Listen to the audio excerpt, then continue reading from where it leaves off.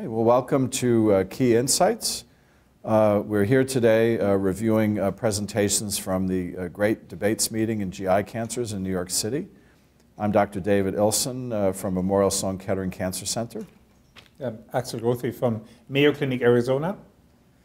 So I think it's been a really uh, exciting session today, reviewing updates in the treatment of colorectal cancer, where we've reviewed uh, novel therapies uh, targeting immune pathways, uh, biomarkers uh, such as RAF mutation in colorectal cancer, and the issue of the optimal duration of adjuvant treatment in colon cancer. Maybe we can start with that as the initial topic. Yeah.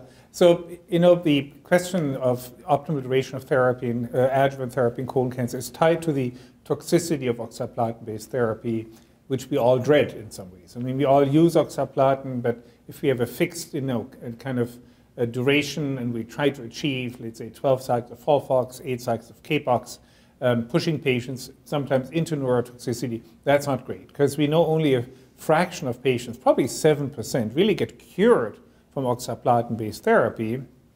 Two-thirds of the benefit comes from the fluoropyrimidine, but we subject every patient to the toxicity of oxaplatin-based therapy, and those toxicities can be experienced lifelong. You know, I have patients, you know, who uh, really have long-lasting neurotoxicity. So eventually, we, it, as an international consortium, the so-called IDEA collaboration, international duration valuation in adjuvant therapy, we ran a large, probably the largest cooperation ever in, in colorectal cancer. 12,834 patients were included, randomized to three months versus six months of therapy, either using FOLFOX or CAPOX. There was no randomization. And we saw in a non-inferiority analysis of all the patients combined that the non-inferiority margins were not met. You know, so the trial in its overall patient population was negative. Having said that, the trade-off, and this is informative for our clinical practice, a three-year disease-free survival is only 0.9%, and you cannot even put a laser pointer between the disease-free survival curves. So the question is, how does this translate into our approach now? Particularly when we now broken, uh, uh, break down subgroups, the different regimens we use, capecitabine, oxaliplatin versus FOLFOX, and the different risk groups, high risk versus low risk tumors. And starting with the more clinically intuitive risk groups, T1 to 3 N1 tumors, which by themselves have a better prognosis, about 80 plus percent three-year disease-free survival. There are clear data that you, for the overall patient population, you do not need to use more than three months of therapy even more so when you use capecitabine oxaliplatin compared to FOLFOX. For the higher risk group of patients, there is potentially a trade-off, in particular when you talk about T4 tumors. Um, so that's something we need to discuss with patients. Um, so there could be a tendency toward longer therapy, but I still believe, you know, from a clinical perspective, you could even stop oxaliplatin after three months and then continue with the fluoropyrimidine. Yeah, I think the key take home messages uh, from the IDEA analysis, and this is your publication coming out in the New England Journal of Medicine, is that um, for low risk patients, N1 disease patients, three months of capecitabine oxaliplatin is, is absolutely acceptable. It's not inferior. In higher risk patients, N2 disease, six months of therapy was shown, uh, uh, the three months was not shown to be non inferior. However, the difference was quite trivial. It was like 1.9%. So I think the take-home message is low-risk uh, patients, N1 disease, three months of capecitabine oxaliplatin is acceptable.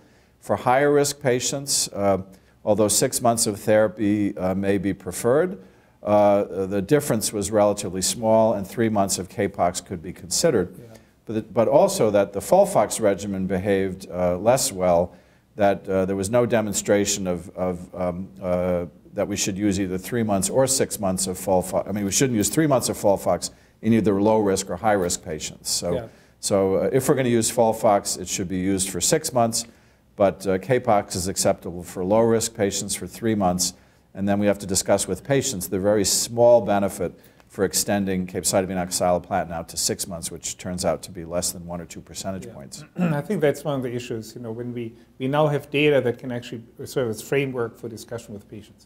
Now, what did you make out of the BRAF story, BRAF V600E story? Well, I think we now have positive data, even from a randomized trial, uh, that combining uh, a, B, a BRAF inhibitor, uh, an EGFR antibody, and chemotherapy improves uh, response, progression-free survival, and trends towards a survival benefit. So I think uh, we have validated uh, the concept that we can potentially overcome EGFR uh, targeted resistance by adding agents that target um, uh, the BRAF pathway. And now we have interesting data even eliminating the chemotherapy, potentially Yes. using a MEK inhibitor, a BRAF inhibitor, and an EGFR antibody. So I think this type of treatment is going to move forward, and now uh, use of a BRAF inhibitor plus uh, EGFR drug and irinotecan in a BRAF, um, a refractory BRAF mutant patient is now part of treatment guidelines. NCCN guidelines, yes. so I think uh, that's a really interesting area of uh, research. And we also heard some updates about uh, progress in HER2-targeted therapy in colon cancer, even though it's a very small subset. Yeah, uh, but HER2 is the next biomarker that we look at. We talk about RAS mutation, BRAF mutation, we talk about MSI or mismatch repair deficiency, sidedness, but I think HER2 amplification is probably the next biomarker that will make inroads into guidelines and clinical practice. I know you're probably testing for it, we're testing for it, because we have trials available. Actually, there are several trials available on a national level. Um, and I believe, you know, that this is the next biomarker in colorectal cancer that should be tested. Yeah, well, I think uh, HER2 seems to be a marker of resistance to EGFR-targeted therapy, but uh, the data for uh, combination therapy, particularly trastuzumab plus pertuzumab, shows a clear signal of activity in refractory HER2-positive patients, and there are other HER2-targeted combinations, as well as this one now in phase three randomized trials. So it's very exciting. So a big part of our meeting today came uh, focused on immunotherapy, and I think we saw an excellent session today. And I can only encourage everyone, you know, if you want to experience these sessions, come to New York next year. You know, this is a great uh, way to interact with uh, the faculty. It's a very interactive session. So I really enjoyed this session. We learned a lot. I mean, biomarkers for immunotherapy, uh, why, is, why do MSI high mismatch repair deficient tumors respond without even PD-L1 anti uh, PD-L1 expression levels? Um, so, what is your takeaway of this, uh, David? What, what do you think were the highlights here? Well, I think that uh, MSI high status now uh, has led to uh, approval for anti-PD-1 therapy for any chemotherapy refractory solid tumor that's MSI high.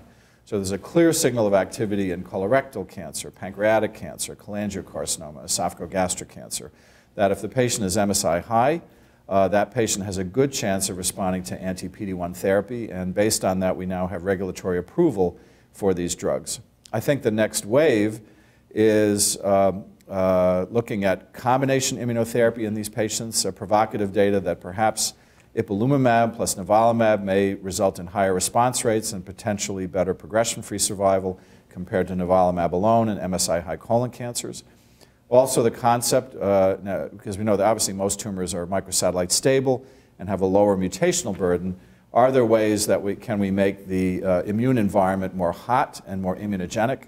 Um, and ongoing interest in using MEK inhibitors to upregulate uh, IHC uh, expression and um, uh, HLA expression and potentially make a tumor more immunogenic. So we're awaiting results of the randomized trial in microsatellite stable cancers comparing conventional uh, late-line treatment with um, uh, a combination of atezolizumab plus uh, cobimetinib, which is a MEK inhibitor. Yeah. And a lot of interesting uh, uh, uh, new drug development, uh, these bispecific antibodies, uh, combining an antigen, uh, like a, a targeted antigen antibody that recognizes CEA, which is very commonly present in many cancers, and linking that to an immune stimulatory component that can recruit and activate T cells. And some very interesting early data suggesting that these bispecific antibodies may result in uh, interesting and potentially durable responses.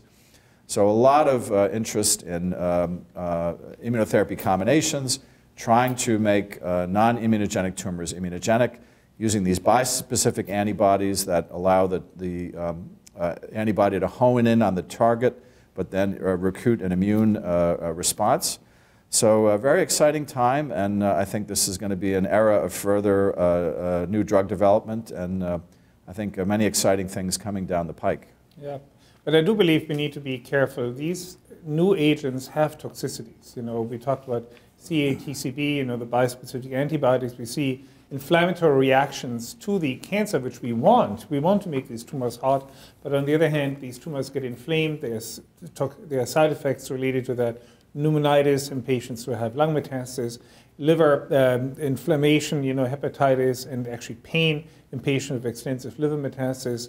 So sometimes I'm a little bit concerned moving drugs from phase one to phase three right away, you know, where you spread it out there and we don't really know exactly what toxicities we should be handling in which way. So I think, you know, this is something which I hope will not affect the validity in the future, let's say, yeah, use of these agents.